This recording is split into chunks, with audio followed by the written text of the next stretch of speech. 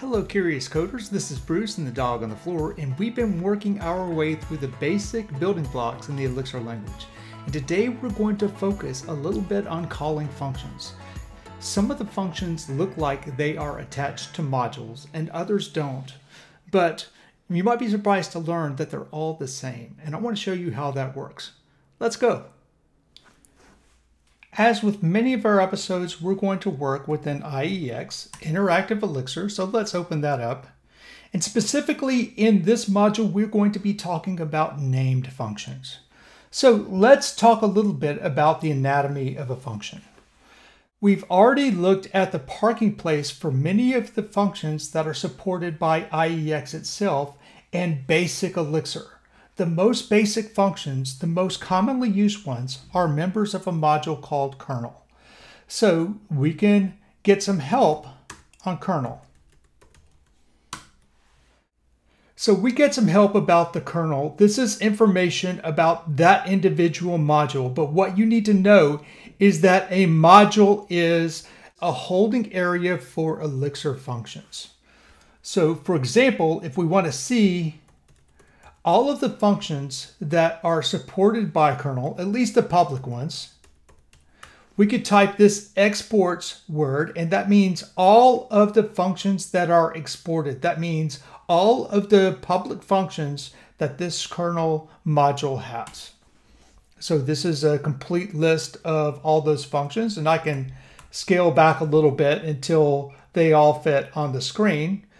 And you can see that there's a ton of them, but what I want you to understand is that these functions have names and they also have arguments. And you can see the number of arguments right here. So for example, there's this function called floor. So to call this function, I'm going to type kernel dot and then the name of the function. And then I can type some value so in this case, floor is a mathematical function, and I can say I can give it, for example, 1.7, and it's going to give me this piece of the decimal. And it does. So one of the things that you might notice is that some of these functions have more than one version of them. In this case, is function, there's a version of this function with one argument and a version of this function with two arguments. And the reason is in Elixir, a function is different if it has a different number of arguments. So effectively in Elixir, functions have a module name and a name and a distinct number of arguments called the arity. And that's right here. And to call the function, all I need to do dot, and then the function name, floor. And then I have these optional parentheses. So I could type 1.7, this would work, or I could type 1.7 like this. In general, if I'm writing compiled Elixir code, I will opt to leave in the parentheses. But sometimes if I'm working in IEX, I will opt to leave them out, basically because I'm lazy. The next thing that you need to know is that there are naming conventions for both modules, which tend to be camel case, and they begin with an uppercase character, like kernel, and functions themselves. So they tend to be in snake case and begin with a lowercase character. For example, this is snake case. And if I was building a function, with the name This is Snake Case, this is how I would represent it, where words have underscores between them. If I wanted to write that in camel case,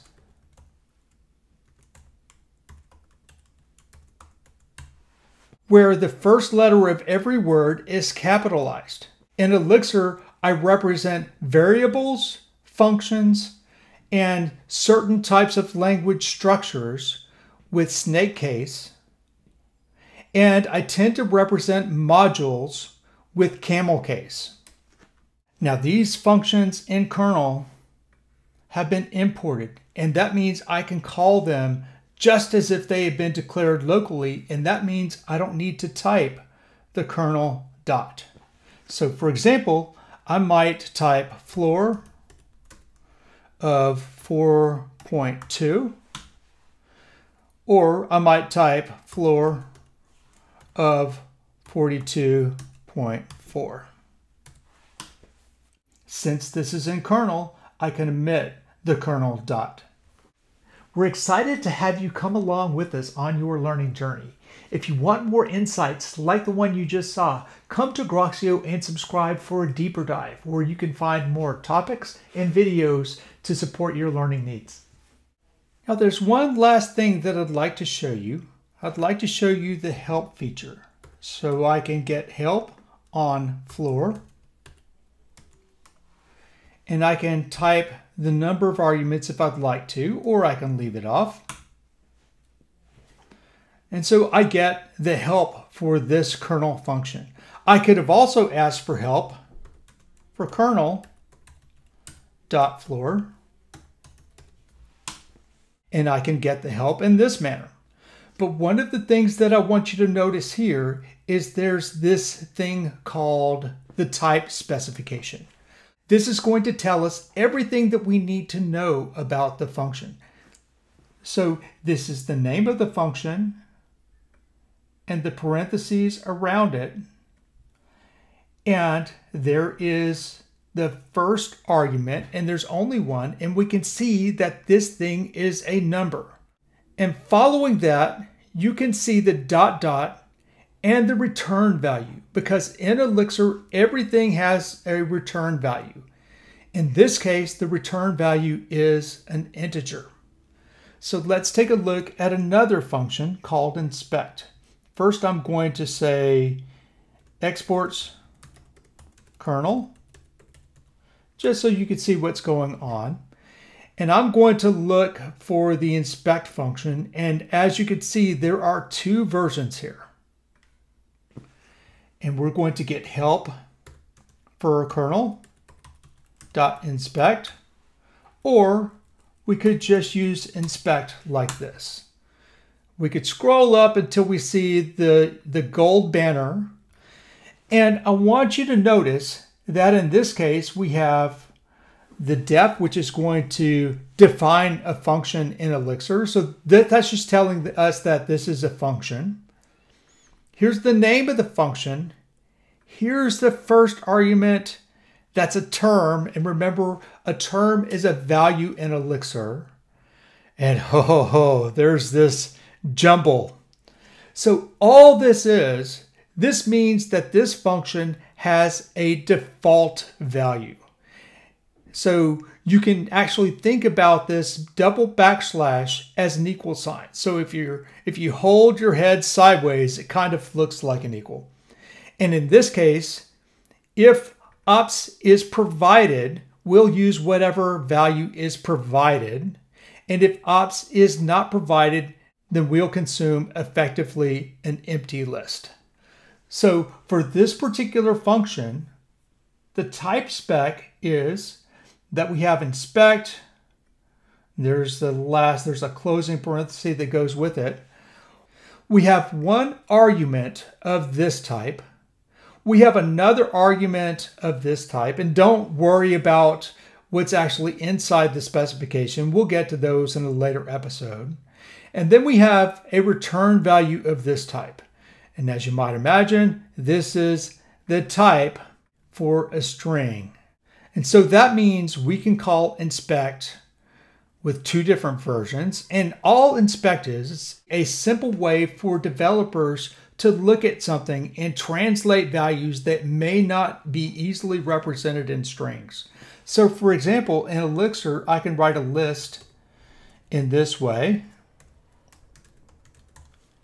And here you could see that this is a variable and you could see that I use snake case beginning with a lower letter so let's even call this my list like this.